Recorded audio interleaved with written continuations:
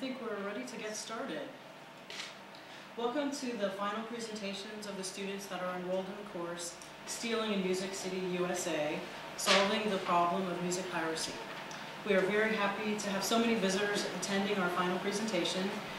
In fact, we've had many visitors during the entire course, and we are very happy to welcome several of those back today, so thank you for being here.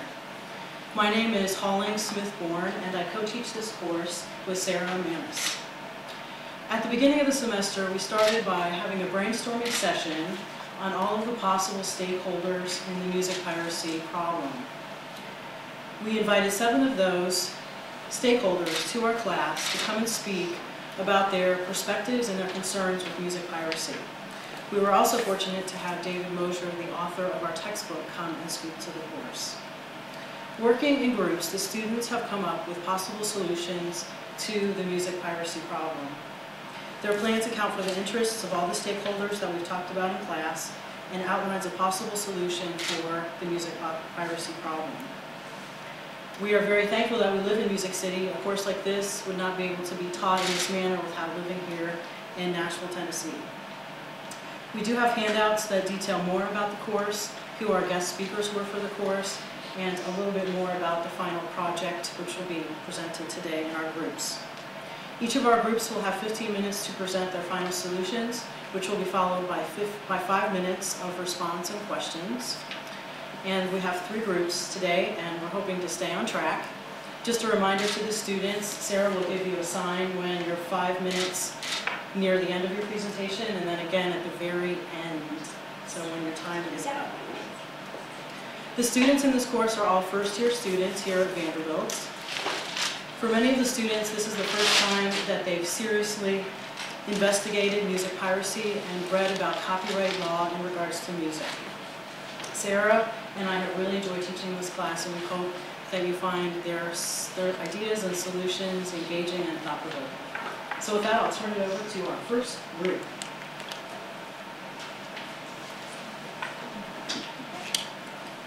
Hi, I'm Maria. I'm Allie. Victoria.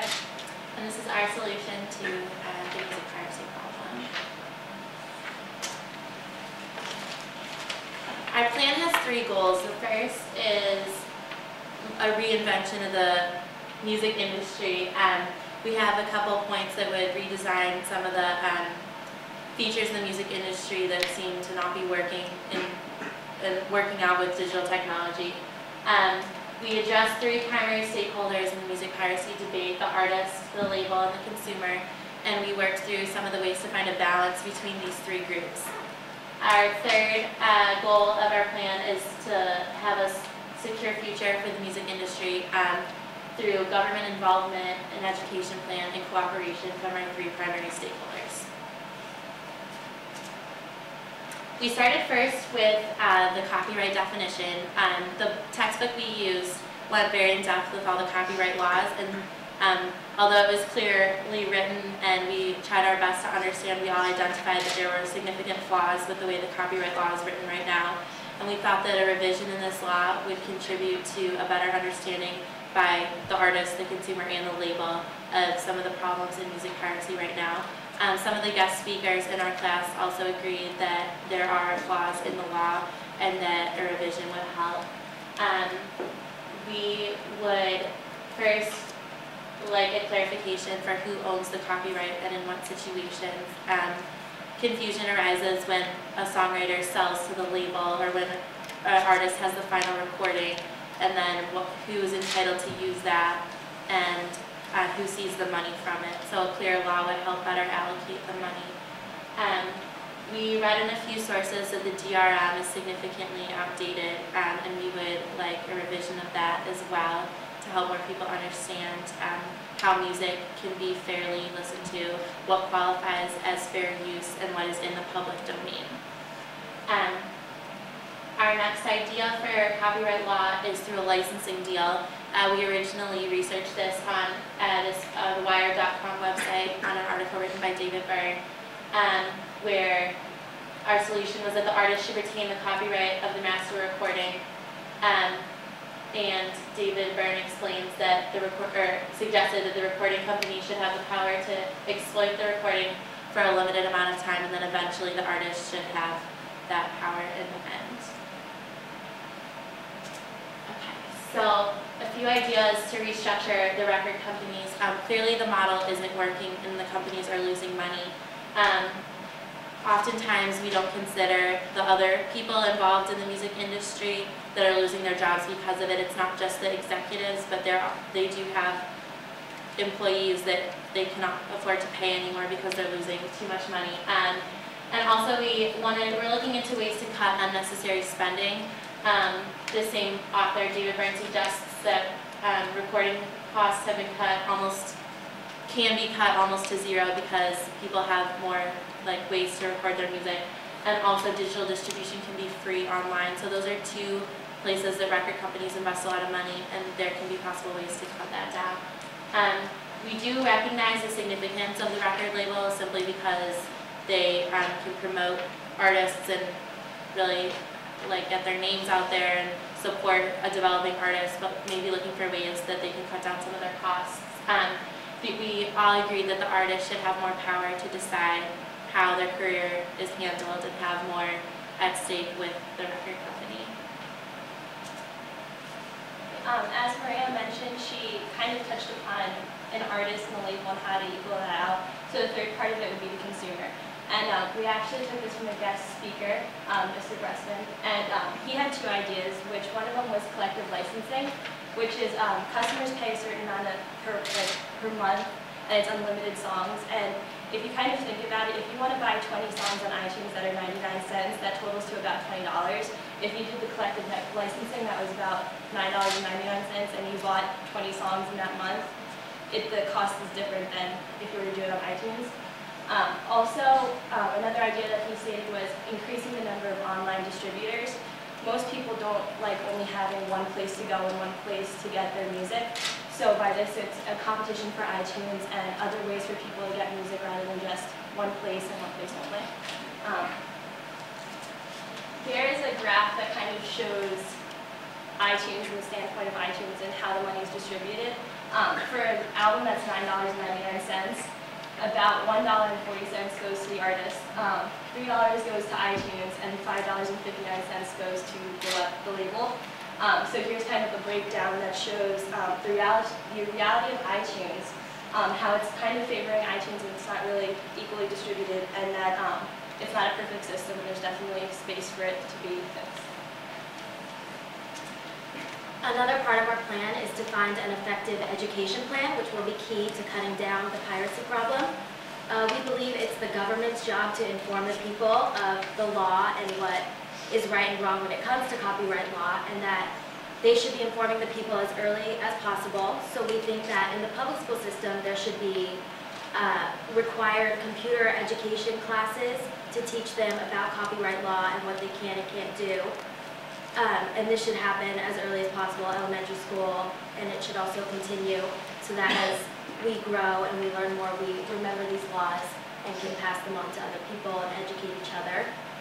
Um, we need to find a way to market this new plan, either through, through the classes first and then also through public service announcements or pamphlets.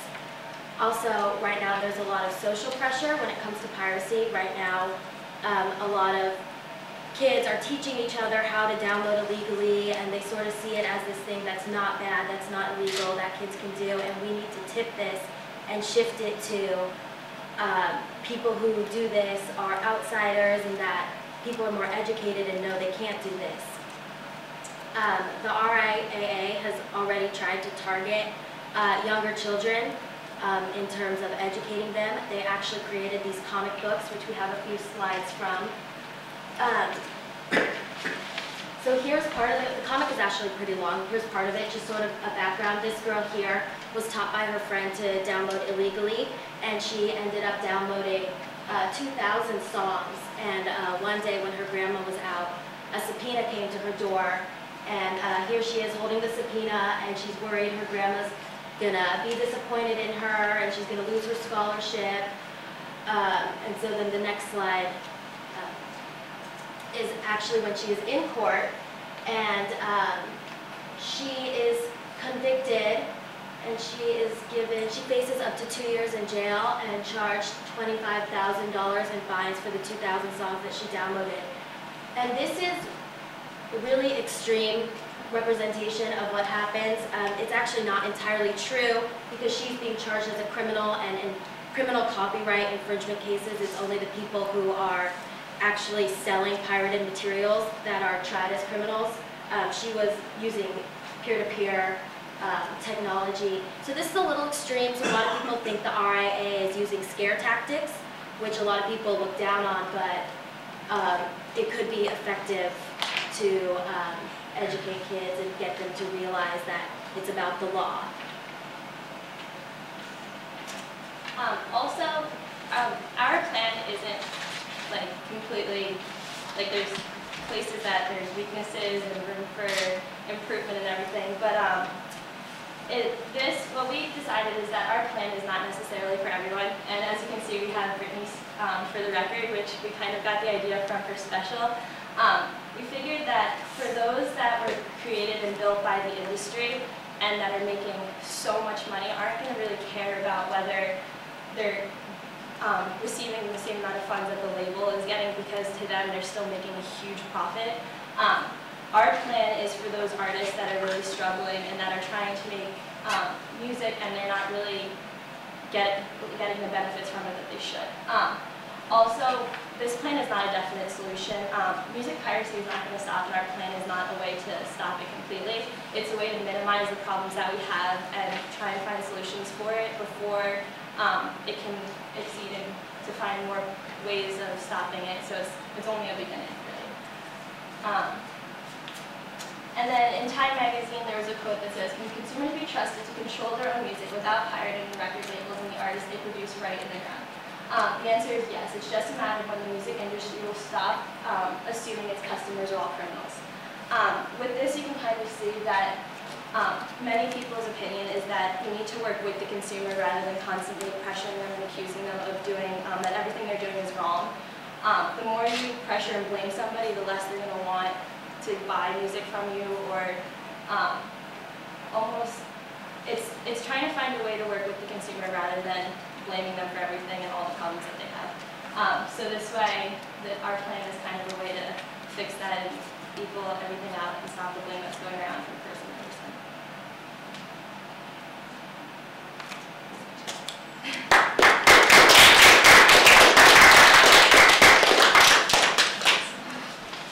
We have s- five minutes for questions, and will the second group please go ahead and get set up? Questions or comments? Cory? I was curious, when you talked about collective licensing, did you, did you decide on the ten dollars per month, or was that kind of just like a example? It was, it was just an example to show that there could be a way that, um, because I guess a lot of people don't want to pay, I guess, a dollar for a song. So it was a way to show that there's other, there's alternatives to being able to get music rather than um, stealing it almost, and that there's different, there's alternatives to getting the amount of music that people want. So it wasn't like an exact number, it was just an You'd be example. encouraging business models like that, just like alternative finance and. Yeah. Thank you. Any other questions? Do you think primary schools would be open to being part of the education part of your solution?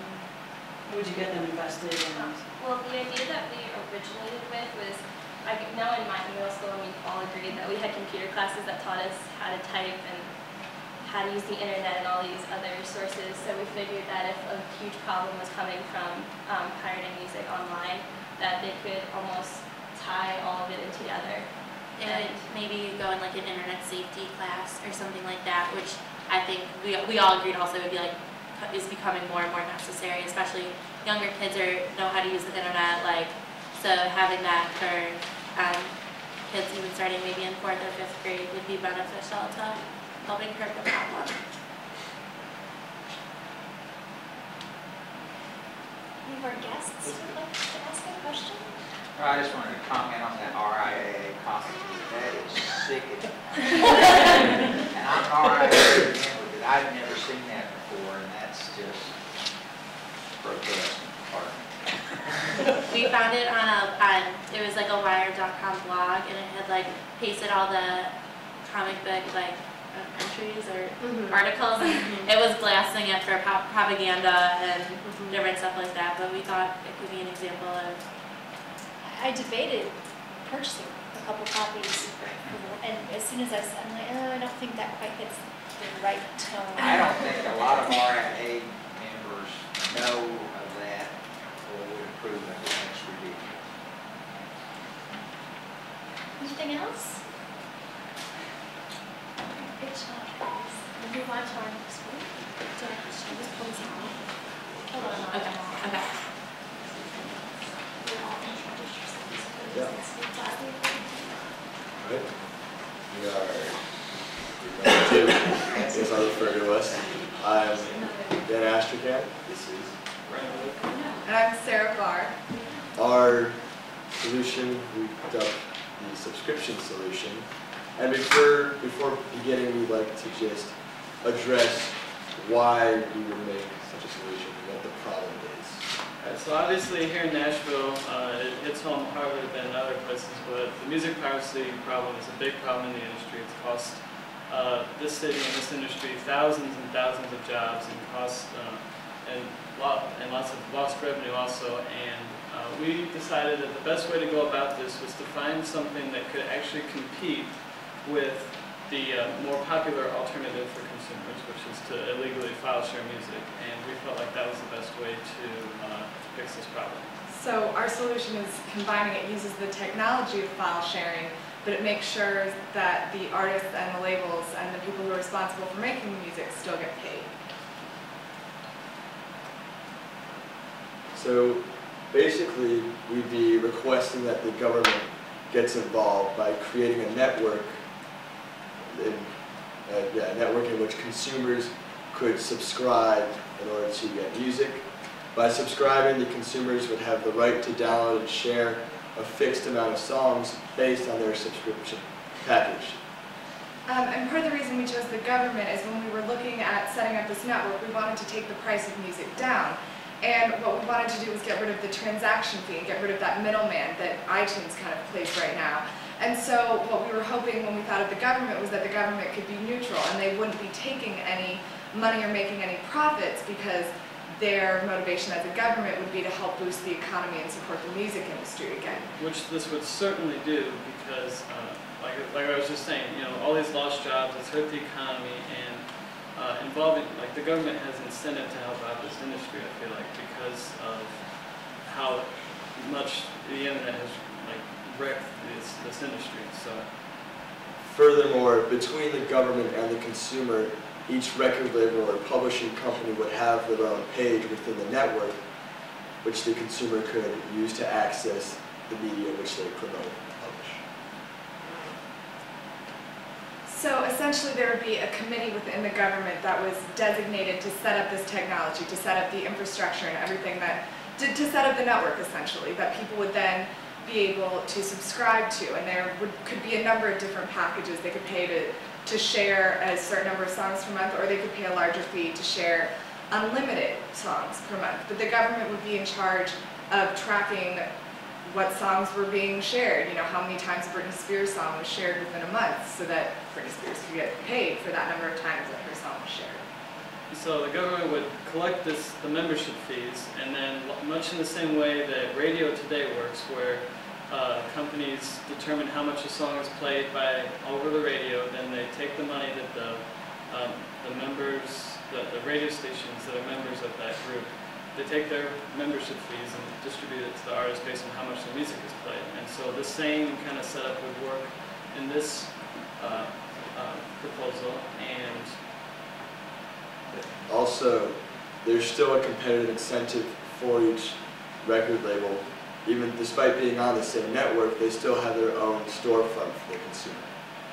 So within the network, um, different publishing companies and, and owners of the copyrights of music could set up their own website, so to speak, or their own homepage where um, they can advertise the music that they're putting out there and that they are allowing to be shared. And they can advertise even different events that they're having, or different companies can advertise through them so they can make their own profit. Um, and then in terms of independent artists, Um, we want to, we want the program to support unsigned independent artists that still own all of the copyrights to their own music. And, and so we kind of created a rule that says, yes, an independent artist can set up their own page and advertise their own music and, and allow their music to be shared if they have a minimum of 12 songs. Because our, our logic for that was if it gets below 12 songs, the government physically can't handle tracking millions and millions of artists that just have one song out on the network. And that would just make it more complicated for paying those artists. So that's why we set the minimum for 12 songs. The independent artists did want to set up their own page and have their music shared and get paid for it. So basically, the government's setting up this blank slate for all these publishing companies to put up their music on, and they can, you know, decide how they want to do it, but we think that this would be a good way to open up the internet medium for the music industry. Here we have our hypothet- hypothetical membership options of silver, gold, and platinum, where you would pay X amount of dollars per month, and you would be able to share a certain amount of songs, up to a point where you'd be able to share an unlimited amount of songs. The prices are hypothetical, they would revolve around the contracts that exist now and the current ways in which the companies are deciding how to distribute. Um, and when we look at prices, we were hoping to take the prices way down because A, we're getting rid of the middleman, like we said earlier with iTunes, but also that we're hoping to, by uh, shifting supply of music or increasing, you see this basic macroeconomic graph, we want to shift the supply curve to the right. We want to increase the amount of music that is shared, that is out there in the world. And so we, our goal is to take the price of music down, so an artist is getting less money for every time their song is shared, but we hope that an artist is making more money because the frequency of sharing is, is increasing. And more, you know, the music industry, I don't know the percentage of people that illegally file share music, but like there's a lot of them out there, and if you're bringing more of those people in, you're gonna in- increase the quantity, like she was saying, so, and so you can offer music for cheaper. And, um, and then in terms of getting paid, we've kind of been describing this, but what would happen is, depending on who has the copyrights, you know, the government is gonna break it down and look at how many times the song is shared, and then based on who owns the copyrights and based on the record contracts that were signed when the artist was first recording, the money will be divvied up between the actual recording artist and the record label based on the contract, but the money gets divided up between each song. And similar to how money is distributed based on radio play, like a company such as Bug Music tracks how often a song is played, the program will track how often a song is transferred. Well, here's our basic structure where we start with the government committee, which organizes the network, followed by the individual company profiles, and then finally, the consumer's access to each page. Um, and so just going back to what we were saying just a couple minutes ago, it all, in terms of people getting paid, it all depends on the individual contracts and who owns the copyrights um, to the music. But basically, the government tracks how many times the song is being shared, and let's say one month, you know, Britney Spears' hit single "Give Me More" was shared a thousand times. The money, the the government takes all the money in and kind of pools it, and then at the end of the month, when they are able to break down how many times a song has been shared, the money is then sent out to each copyright owner. So, um, and then uh, music publishing companies and independent artists that have profile pages within the network um, can make their own money by selling advertisement slots on their page or just promoting other products that they might have or be a part of on their profile page when they are advertising their music that they have allowed to be on the network. Um, and this is just kind of a, a repeat, just a debrief again, that the government is tracking and musicians will get paid every time, or whoever owns the copyright will get paid every time their song is shared.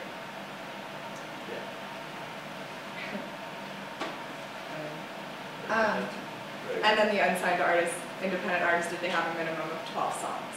Uh, Furthermore, the unsigned artists, they can, unsigned artists can use the program as a tool to promote their music with such functions as sorting the music by download frequency and user ratings will be able to promote these unsigned artists and give them the potential to be seen by big labels. which we- felt like was one of the biggest advantages to the peer-to-peer file sharing programs was its ability to get out new music. And with this uh, program, which people having this, you know, larger access to music, they're going to be able to explore a little more into this new music and find new artists who can also then get signed with record labels. Um, so over the past, we found that there's been a trend for consumers to wanting the newest technology, especially when it comes to how they want to get their music, whether it's cassette players, CDs, or now digital files. They've always wanted to listen to music in a new and better way. And every time this happened, it's become easier and easier for them to copy it also. And now that we have the internet and digital copies, it's you know infinitely easier to spread music and without you know losing quality over time and all that. So instead of, but however, the industry instead of giving consumers what they want, they've tried to attack them, trying to all the RIAAs, lawsuits, and all that. Uh, and not much progress has been made. And so we felt like ins- instead we should give the consumers what they want. And we feel like this uh, solution is uh, utilizing all the new technologies that are out there that consumers want to use. It's uh, utilizing the most popular method of music distribution today, which is peer-to-peer file sharing, even though it's illegal. Uh, and it's a cheaper way for people to access music legally. S- And we feel like consumers will buy into it because it's so much cheaper than paying a dollar a song, ten dollars an album on iTunes. So we increased the amount of people uh, paying into this program. And at the same time increasing the public's exposure to the art and ideas of music, uh, which is a definite benefit to society. Also, also it's a platform they're used to using. They're very familiar with the peer-to-peer programs, seeing as many of them have grown up using them. Also, we would hope that in the future, any sort of portable device that has a wireless connection would be able to access this network. And another uh, benefit we came up with was that slowly the government can be acquiring the library of uh, public domain music that's steadily increasing, and they can offer it outside of the subscribe limit or to unpaying guests on the network that can uh, have an easy way to access this uh, free music that they otherwise would have a hard time finding. And so then just as a final recap, we have a lot of faith in the solution that we've worked on because it's using the technology that's out there that people have shown that they love to use.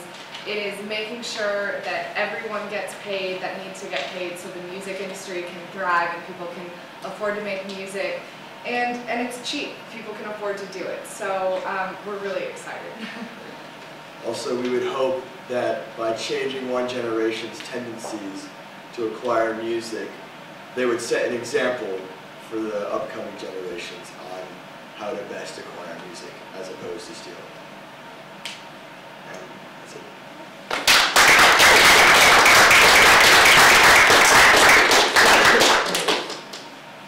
Questions? How would the uploading process work to get onto the network?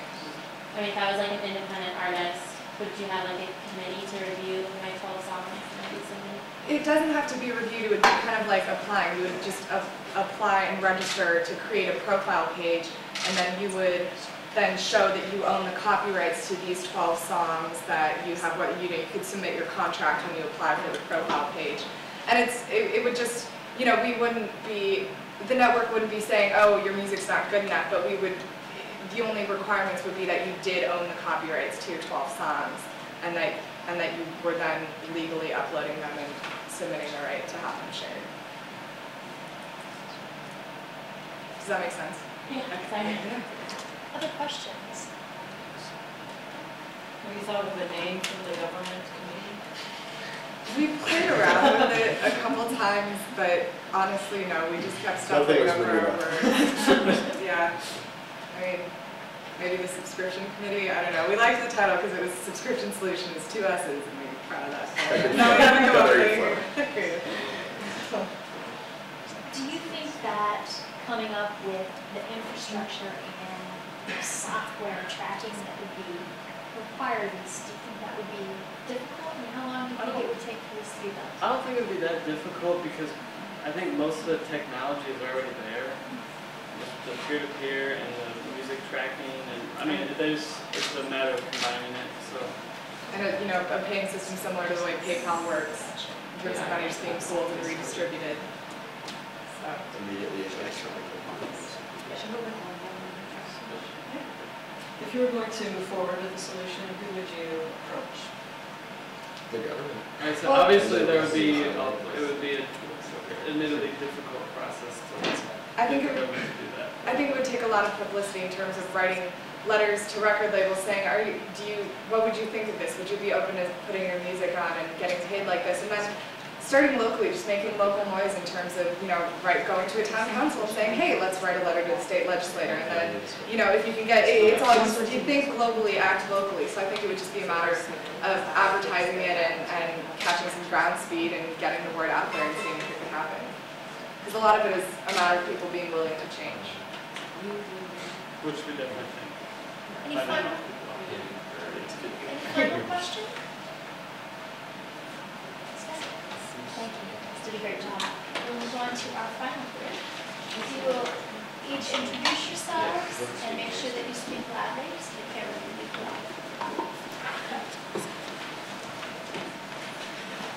This is our third group. I'm Corey Peak, I'm Rachel Hoagland. Leslie Miller. And I'm Ricky Taylor Jr. and this is our solution to the music piracy problem. Uh, before we get into our solution, we should talk about what is the problem to begin with. Uh, we'll define music piracy as the ille- illegal use and reproduction of intellectual property. In this case, it's music and all of the different sorts of uh, products that the artist can make. It would also be the um, album art and such. Uh, small infringements have always existed and will always exist so long as consumers have the freedom, and that's given by fair use. Uh, these small infringements don't cripple the music industry though. Uh, it's such as like if you burn a CD for a friend or copy a tape, it's always been there. And this doesn't hurt the music industry. It represents the roaring 90s, I call it. Uh, it was the best period for the music industry, and yet there was the most of this small infringement. So obviously that's not the problem. The real problem is the grand scale infringement, and this is occurring because of the internet. And the main, uh, the main villain here, I guess you could say, would be the peer-to-peer networks. Uh, during the 90s, you can see that we had the best years for album sales. This is data from the RIAA. But with the advent of Napster, which is just a scapegoat for the beginning of peer-to-peer networking, we had drops. So, whose problem is it? The four more stakeholders we've attributed to be artists and consumers. We have a third group, but mainly the artists need to be paid for their work. They're doing all the right, the songwriters also, they're doing the writing, they're creating the music, and they can't continue to do that line of work if they're not being paid for it. And consumers want to have fair access to music they want. They want to have cheap access. They're consumers. They're only going to exist so long as the artists exist, and their artists have to be paid to exist. So they're completely codependent. The third group would be the music label. And those are just getting the artists known and getting the products to the consumers. In in the future, they may not be as necessary and they may not be a primary stakeholder because it's easier for artists to get their products to the consumers and to get their names out. So our main two are artists and consumers. Whose responsibility is it? Similar to the past, the other two groups, we believe it's the government's responsibility to protect its creative population. The government needs to protect the artists that are creating the work, and other countries have gone more lax on these laws, and they've lost their creative output. So our solution is rooted in legislator and action from the top, from Congress. We believe that once you reestablish the network and the, the business of music, then business models will develop that will offer the music from the artist to the consumers. So we're not proposing a collective licensing deal or a different sort of iTunes competitor, but we're going to fix the problem so the, the, um, the market for music is established again. People are willing to pay money for music, and then business models will emerge because it's profitable for them. So our solution is twofold, really threefold, but the temporary and immediate solution is the crippling of peer-to-peer networks. We'll go into the specifics of how this will happen, but the peer-to-peer networks were originally intended to transfer uh, data between businesses, and it was very efficient at that, and it still is. But it's common knowledge that infringements occur on peer-to-peer networks. So we're going to try to remove that, but we know that as you, you develop one business model, another will come up, and people will continue to steal music, So our permanent solution is education. The other group stressed this also. We need to teach the students, we need to teach elementary school, middle school kids, teenagers, everybody, that music piracy is not just stealing, but it's stealing from people. There's an ethical problem there. Um, the funding for this education, the government will be leading the education uh, movement. The funding will be provided from the tax revenue because now the market is reestablished and people are buying music once again, and from a benefit concept that we'll go into a little more detail.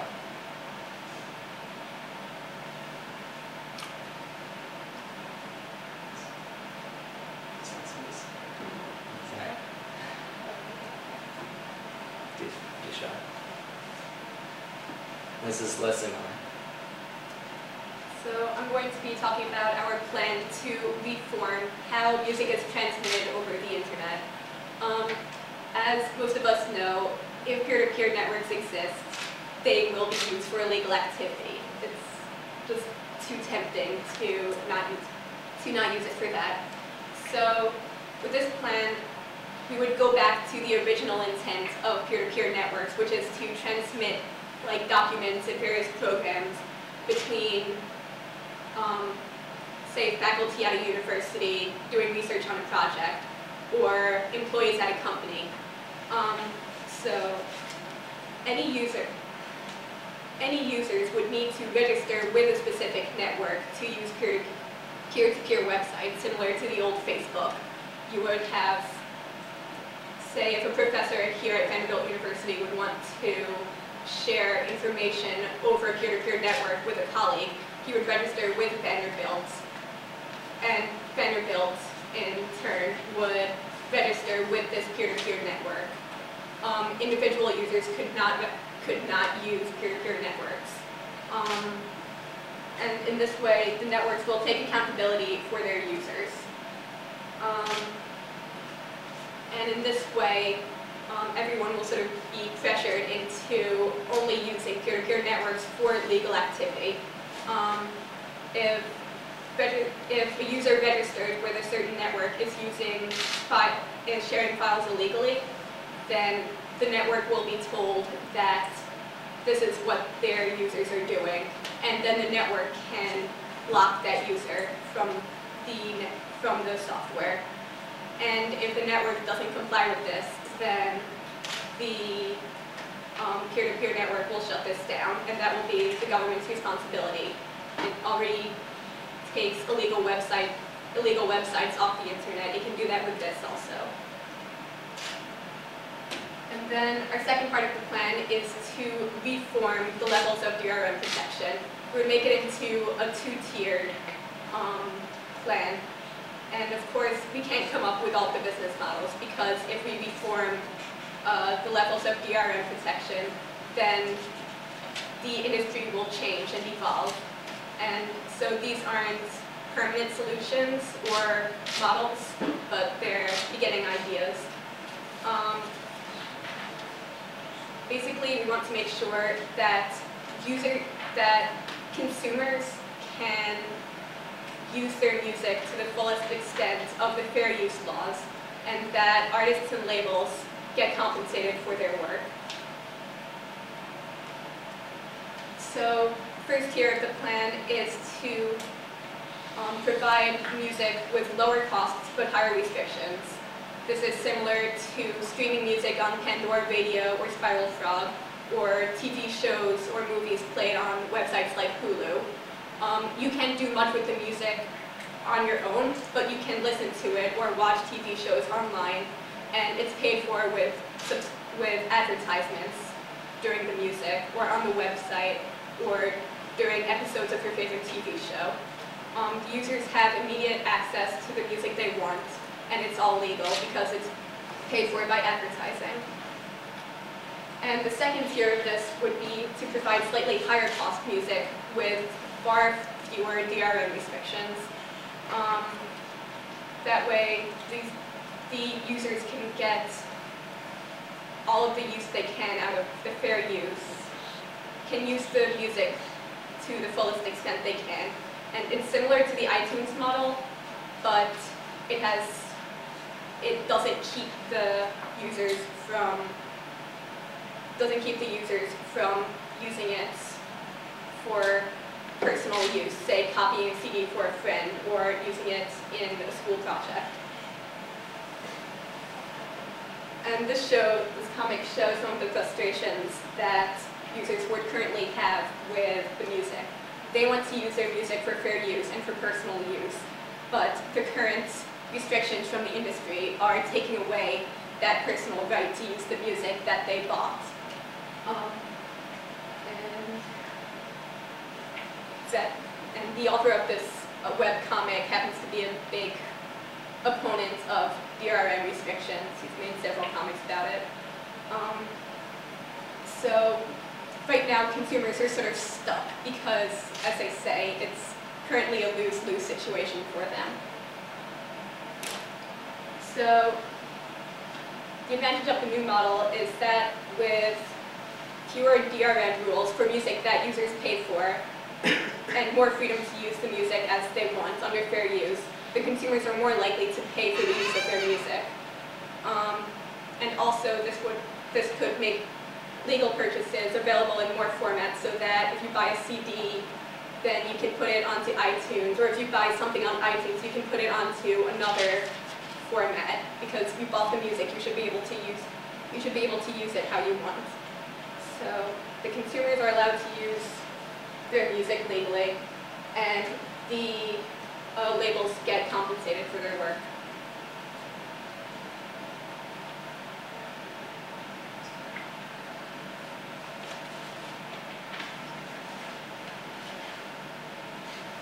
Okay, I'm going to be talking about, there's like two parts to our education. And I'm going to be talking about the part that would be happening more with like the government and the consumer. So, um, our basic idea with educating the public, would, or like our, one, of the, one of the ideas, is that the government would, like a certain like law would be passed that like through the legislation and they would um, like make some sort of precedent within the uh, public schools that like it would have to be part of the curriculum starting early, that they would um, like have to educate the like starting in elementary school about copyright laws. And like the main thing behind this is it would be the ethics behind like what's wrong with taking like with stealing music not necessarily like every section and like component of copyright law at least initially in like more like elementary school middle school age kids and like a lot of almost every presenter that came in and like I guess even our class discussed as a whole that education like general public doesn't really like I didn't really know. I'll admit I used LimeWire before I came into this class. I like I knew it was wrong but you, you don't really know who it affects and why. Okay so the um law would be um, enforced would be more by like a state to state basis so like the states would come up with like their own way to, we'll get, so the funding behind this whole education system is kind of be in our next thing that Ricky's going to present. And um, so it's going to sort of be like a similar to the No Child Left Behind Act on a state-to-state -state basis of implementing it in the public schools. And the main focus would be on the um, the ethical problems involved in stealing music. So like a lot, um, the, our book presented, like the book for this class presented a lot of different, it didn't just like, it wasn't just like the copyright law, like word for word, like interpreted like on one side and like all of it on the other side, like a lot of my history books did in high school with like laws and all, this, all that kind of stuff. But it would be more about like how, like it would give specific cases that were presented that like I didn't know about about how like you like certain things that like you can be allowed to do with like music that you have and like cases that have gone through and stuff like how like some music is like considered being stolen and how some cases it's not. And then as they moved on to high school, they would be presented more specific details. And that would hopefully move on through all the generations that pass through and they would be more educated about stealing music.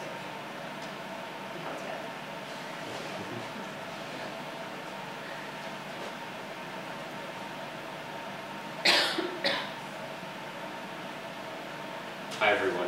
Uh, my name is Ricky Taylor Jr. and I will be presenting the educational concept our group came up with called Project Rock the Schools.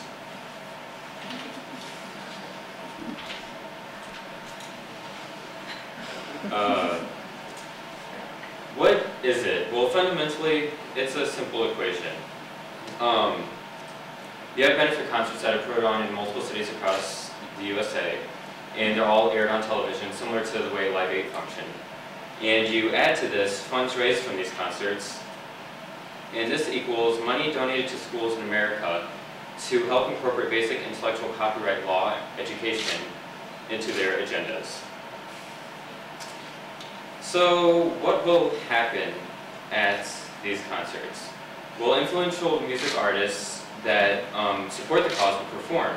So maybe people like Rihanna, Tim McGraw, Beyonce.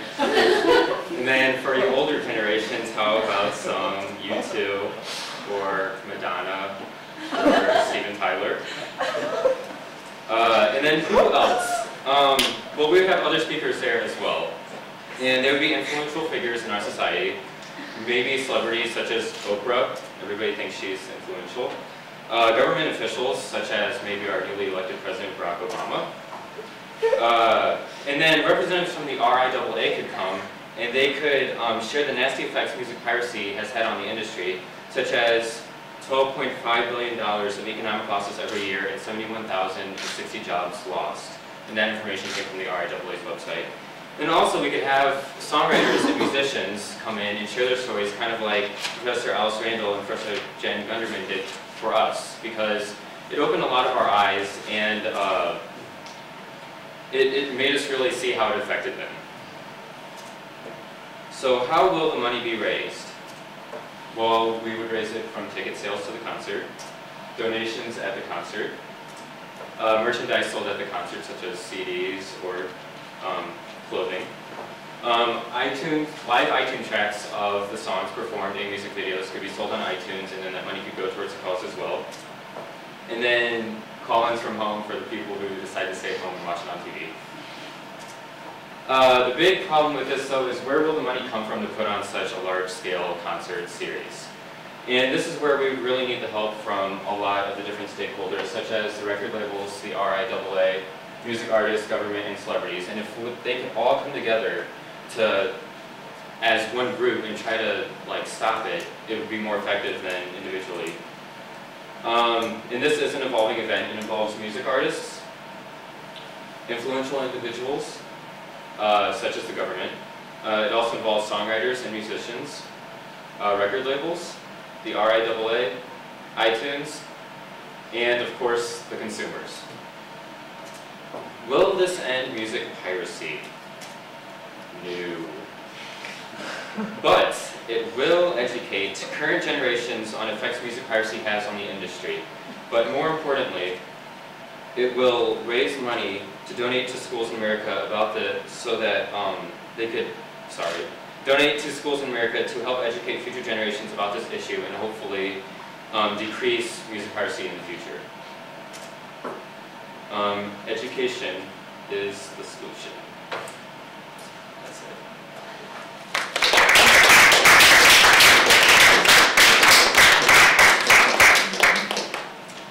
Are there any questions for this group?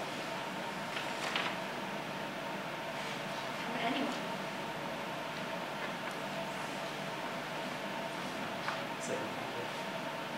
Do you think it'll be difficult to uh, get people to agree to register PTP uh, networks? They will have to. Um, I mean, do you think that it's going to be, I mean, assuming it's legislated, you're going to have people that are going to definitely be against that. How how difficult? The government currently deletes other illegal sorts of websites, say just with inappropriate content. This would be another one of these. And this would also circumvent or go back to the original intent of it and not really circumvent it like Napster did. Napster got around all the laws by doing, by not using a centralized server so that they couldn't claim any knowledge of illegal activity. All of these peer-to-peer sites would be centralized so that there's a moderating brain that can tell when there's illegal activity happening. So the idea is that the the peer-to-peer networks would be holding their users accountable. People couldn't just freely go onto it, use what they want, and then get away without a trace. Um, only businesses or registered individuals, and then you can track those individuals. So people can't just go on and use illegal things and getting away with it, so, Other questions yes. Would that then be placing like the burden of enforcing that on the business or the, or the university or whatever, or? On the, the people who register into it, Yeah, like that's, if they're, if, like Vanderbilt's users were violating the law, who would, would they be responsible for their registered users? Is that what you're? Well, that would depend on the business and how they would handle it, but it would also incorporate the law as well. it's For a little bit instance. Yeah, because I mean, if it was a school, then like they could easily take away their access to it or other punishment within the school boundaries as well. But there would also be laws against it. Yes. Just a- Yes. comment, uh, there's an interesting new business book out right now called The Spider and Starfish. And I can't remember the, the authors of the book, but it, it talks about, uh, why peer-to-peer is so hard to stamp out and to get under government control. And it goes back and talks about how Napster was a situation where peer-to-peer had to pass through a one fine. Now, that's not possible, and it, and it talks about the fact that, uh, why it's been so hard for the industry to try to ever get this under control, because it's disorganized and decentralized to the point that one little piece of it, if you leave one little piece, it grows into something new. It's a very interesting book that I just became aware of within the last month or so, but it relates to a lot of what you talked about in this class. So we see the biggest problem right now is that the government can't act on it. The current laws can't, you can't prosecute those businesses or the programs that people have exposed. So we want to give more freedom to um, track those down and control them. And then also, um, you mentioned that it's just to the point where we can't do that anymore, and it needs to come to the point where we can. There needs to be more regulation on it. That's one of the major issues is that there's so much deregulation on it that nothing can be done. If we regulate it more and get it to the point to where we can get it functioning, then we, we gotta act. Okay, well, I, I think you all did very well, and I think you've given us some interesting things to think about. Uh, We will be having class next week, but it will be very informal, we just sort of wanted to debrief and see what your been. And Holly and I will be bringing food, so we'll just sit and nosh along. So our guests are welcome again. So, All right, thank you guys. Thank you for coming. Thank you.